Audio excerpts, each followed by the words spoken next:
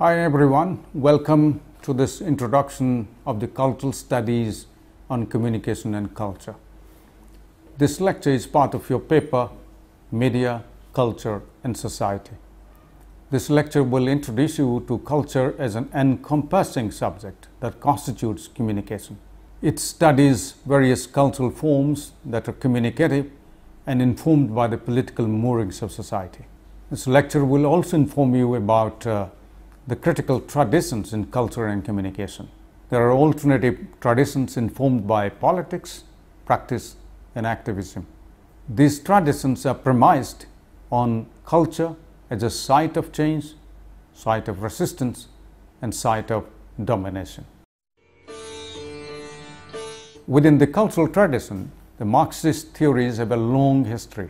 The vantage point for defining the relationship between culture and media is best exemplifies, and I quote, the ideas of the ruling class are in every epoch the ruling ideas. That is, the class which is the ruling material force of society, is at the same time its ruling intellectual force. The class which has the means of material production at its disposal consequently also controls the means of mental production. The ruling class ideas are nothing more than the ideal expression of the dominant material relations, the dominant material relations grasped as ideas. Hence, of the relations which make the one class the ruling class and therefore the ideas of its dominance. This was the basic premise on which further developments in critical theories of media took place. The Frankfurt School, which first gave central attention to the modern means of communication and its cultural effects, has produced an early model of cultural studies during 1930s based on the above Marxist formulation. The Frankfurt School propounded the concept of culture industry, within quote, culture industry, marking a beginning of the critical analysis of culture and communication. Although the Frankfurt School operated within the effect tradition, ignoring the aspects of cultural resistance, their work on ideology of cultural industry is extremely significant. Their work emphasized the centrality of ideology in the reproduction of capitalist system through culture industry. They primarily looked at mass culture as assisting capitalist system in ideologically pacifying any possibility of revolution. Culture industry signifies the process of industrialization of mass-produced culture. According to them, the cultural commodities produced by cultural industry exhibit the features of factory production, commodification, standardization, and massification. The cultural industries had a very specific function of providing ideological legitimation to capitalism and integrating individuals into its framework. Another strand of cultural tradition that emphasized on ideology is semiology, particularly the work of Roland Barthes. Unlike the Frankfurt School, semiology focused on the processes of signification through symbolic mediation. But semiology too exposed that cultural symbols communicate and reproduce the ideology of capitalism. Signs are at the center of semiotics. The study of science is called semiology or semiotics. It looks at three aspects the sign, the systems into which signs are organized, and the culture within which the signs operate. Compared to the Frankfurt School, the reader or the receiver of the sign in semiology is uh, accorded a better place, though very limited. Primarily, it focuses on how a sign system is organized and what does it signify. Barthes uses the concepts of connotation and denotation it, uh, to describe the ways to which signification works. The Frankfurt School and semiology both highlighted the political processes of encoding. Although they both were inspired by the Marxist theorizations, they completely missed out the alternative ways decoding and engaging by the oppressed classes and their struggle. The scholarly contributions by the Center for Contemporary Cultural Studies in Birmingham addressed this question of working class struggles. It linked the processes of encoding with decoding, thereby acknowledging the role of people in negotiating and resisting the encoded ideology. Scholars like Stuart Hall, associated with the Birmingham Center, should be commended for highlighting the role of people in challenging and resisting the ruling class communicational apparatus which was hitherto neglected in the critical tradition. By bringing the role of people, they did not move away from the question of ideology. Their questions about culture were concerned with the changing ways of life of societies and groups and the network of meanings that individuals and groups use to make sense of and to communicate with one another. What uh, Raymond Williams once called whole ways of communicating, which are always whole ways of life. The dirty crossroad where popular culture intersects with the high arts. That place where power cuts across knowledge or where cultural processes anticipate social change. Communication is not seen as injecting ideas into the minds of passive people, Rather, people are seen as creating their own history through resisting and contesting the hegemony of social and cultural forces of domination. This way, they go beyond what is called mass culture and provide a broader perspective to analyze communication and culture, exemplify the political positions as well as scholarly engagement of British left by scholars such as uh, Richard Hoggart and Raymond Williams and Stuart Hall and E.P. Thompson. These scholars rejected the Marxist emphasis on economy. They argued that Marxists consider culture a reflection of economic conditions of any society. Contradicting with this formulation, the Birmingham thinkers exposed that culture is not merely a reflection of economy, but a meaningful process in the construction of social reality. While differing with Marxism on this ground, they did not move away from the central Marxist concerns that its ideology, hegemony, capitalism, working class movements, and socialism. The 19th century era, primarily Britain, was undergoing many cultural changes introduced by industrialization and urbanization. Industrialization and the rise of capitalism promoted culture as a commodity to be sold for profit after the Second World War, the spectacle of capitalism was spreading globally with the emergence of giant corporations like the Coke, the Pepsi, the IBM, the Microsoft, and the nascent computer industry, McDonald's, Nike, and many more global products proliferated and circulated throughout the world. They were basically American. Although with these the cultural products in the forms of seemingly harmless forms were also distributed at a wide scale, slowing the diversity and promoting homogenization and the American hegemony. Stuart Hall says that in the aftermath of Second World War, Britain was experiencing the cultural trauma. The post-war expansion of the new technologically advanced means of communication and Americanization of culture were generating profound impact on the British society and culture. On the other hand, there were working class movements that were challenging the hegemony of capitalism and were arguing for a more egalitarian socialist society. These two processes were also essential in bringing the question of culture at the center of debate and, and shaping the concerns of cultural studies. Each of these developments have threatened traditional notions of cultural cohesion and social stability. Capitalism threatened to weaken authority through the commercial dismantling of cultural cohesion. The other offered a direct challenge to all forms of political and cultural authority. The British cultural studies aimed at a political goal of social transformation in which location of forces of domination and persistence would add the process of political transformation. From the beginning, the Birmingham group was oriented towards the cultural political problems of their age and milieu. Their early spotlight on class and ideology derived uh, from an acute sense of the oppressive and systemic effects of class in British society and the movement of the 1960s against class inequality and oppression. Birmingham thinkers were not as disenchanted with the potential of the working class, and the Frankfurt School thinkers were. They analyzed the potential of youth subcultures to resist the capitalist domination. Going by this theoretical background of British cultural studies, Stuart Hall propounded the encoding decoding model. In this model, people engage with the hegemonic cultural forms at different levels.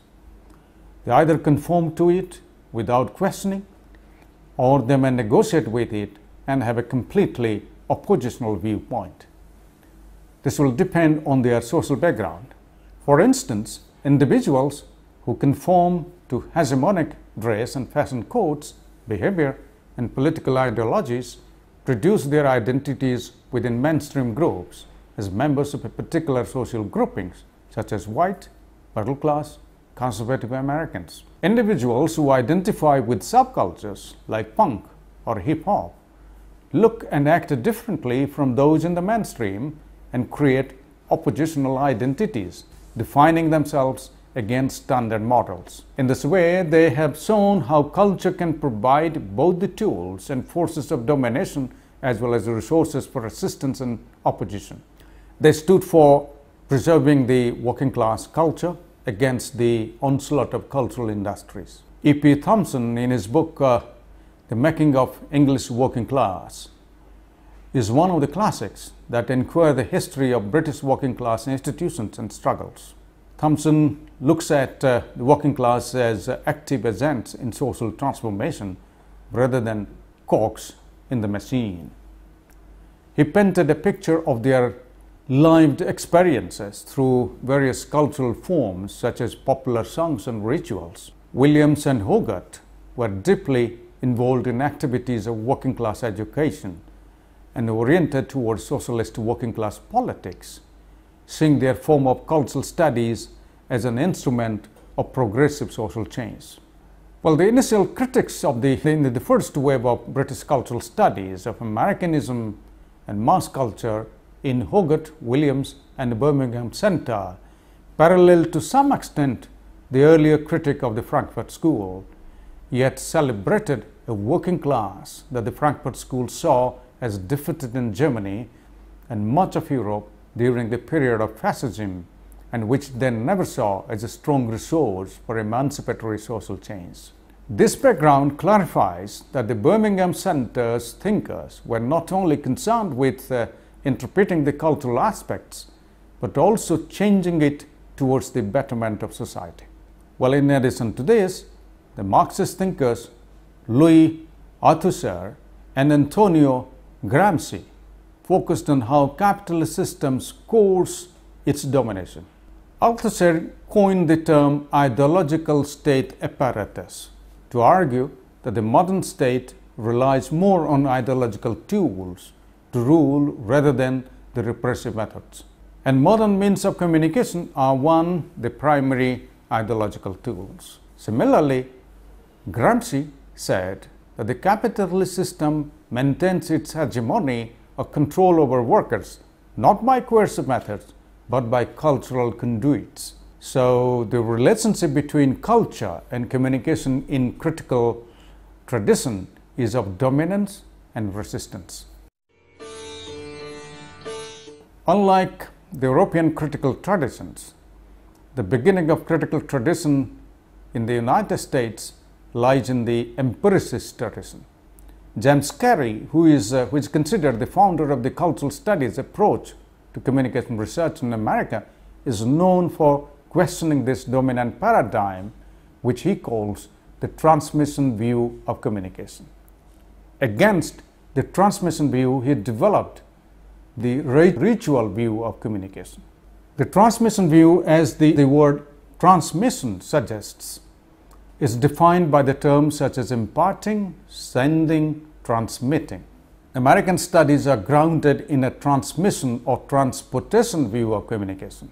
Communication has been defined here as a process of transmitting messages at a distance for the purpose of control. According to Carey, the transmission theorists have expressed their concerns on how the continental nation can be held together to function effectively, to avoid dissension into faction or tyranny or chaos. How to cement the union?